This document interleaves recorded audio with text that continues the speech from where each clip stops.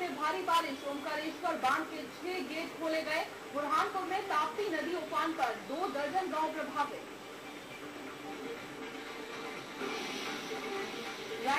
जिससे नदी नाले उफान पर आ गए हैं और जनजीवन अस्त व्यस्त हो गया है। बुरहानपुर में भी ताप्ती नदी खतरे के निशान से 27 फीट ऊपर बह रही है। इससे करीब 22 गाँव से ज़्यादा प्रभावित हुए हैं। नेपा नगर में भी सड़क मार्ग टूट गया है। वहीं ओंकारेश्वर बाँध के भी पाँच गेट खोल दिए गए हैं।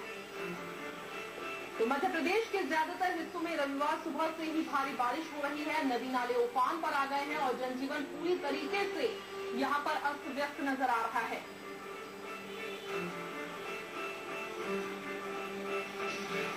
हमारे संवाददाता गोपाल देवकर हमारे साथ जुड़ रहे हैं। गोपाल, अभी फ़िलहाल की स्थिति आपसे जानना चाहेंगे।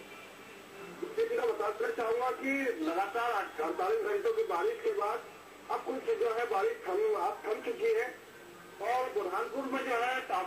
पर है और ताप्ती उफान के चलते जो है लगभग सत्तालीस फीट जो है सामान्य से ऊपर बह रहा था पानी।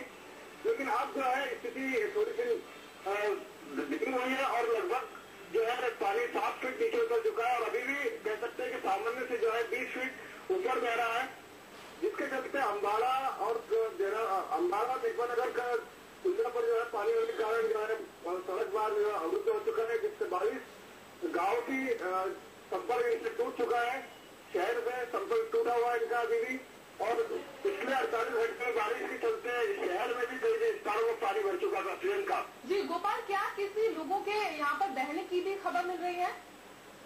अभी तक किसी प्रकार की कोई जनहानि की खबर यहाँ पर प्रशासन को भी नहीं मिली।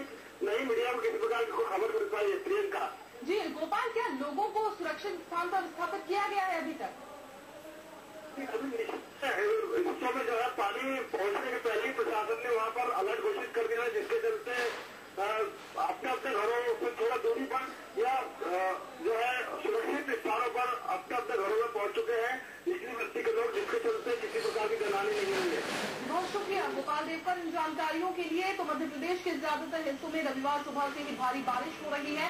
नदी नाले उफान पर है, जनजीवन अस्त हो चुका है। बुरहानपुर की अगर बात की जाए, ताप्ती नदी यहाँ खतरे के निशान से ऊपर बह रही है। करीब 22 गाँव से ज़्यादा यहाँ प्रभावित हुए हैं। वहीं लगातार बारिश का कहर